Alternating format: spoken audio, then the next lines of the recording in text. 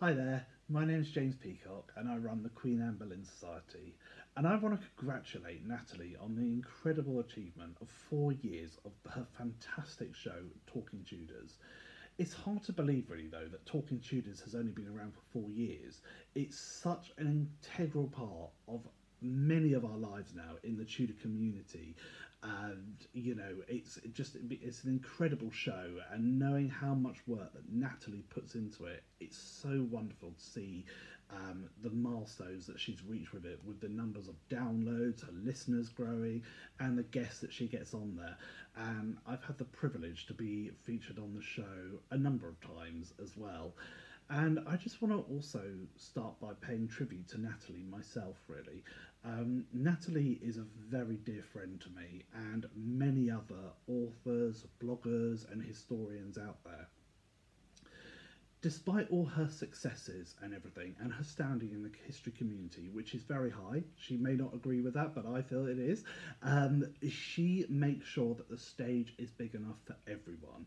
You know, she builds everyone around her up, and that means an awful lot to myself and many others.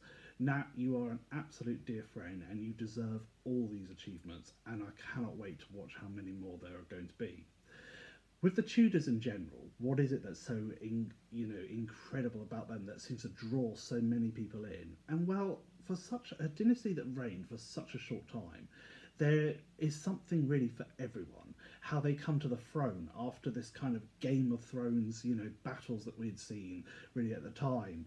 You know, you have people rising to positions that they shouldn't have really risen to. Um, people becoming queen consorts by marrying the king when they shouldn't really have ever been there even monarchs, you could say as well. But that is another story. Um, but in general, you know, the the people that you have in that time period are, despite all the centuries that separate us um, from them, there's a lot that we can relate to them really, which is quite special. And it's too much really to sum up in a couple of minutes, really. Certainly, I can't really sum up anything that other people haven't already said either. But there is something really in there for everyone, whether you're interested in the drama, the politics, the intrigue, or even the statesmanship and what's going on at the time, not just in England, but also Europe as well. There's some incredible figures uh, in the, you know, taking centre stage at the time, and it's right, it's incredible, really, that just, you know, so many years later, we're just hungry for more of that, really.